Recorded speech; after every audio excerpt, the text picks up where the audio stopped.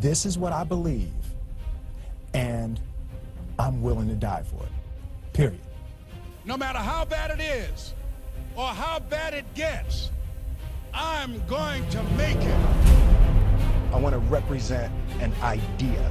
I want to represent possibilities. And some of you right now, you want to be, you know what I'm saying? You want to go to the next level. I want to counsel. You know, I want to be an engineer. I want to be a doctor. Listen to me.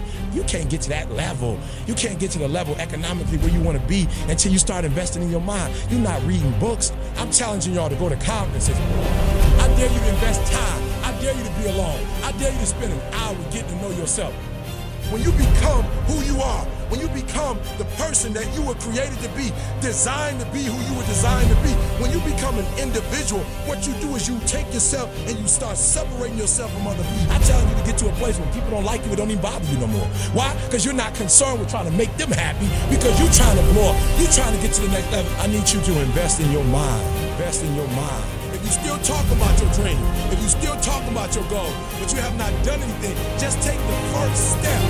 That you can make school proud, you can touch millions of people's lives, and the world will never be the same again because you came this way. Don't let nobody steal your dream.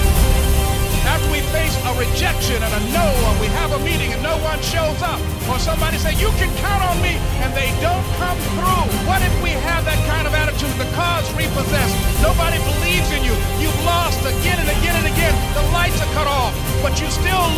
should read, reviewing it every day and say to yourself, it's not over until I win.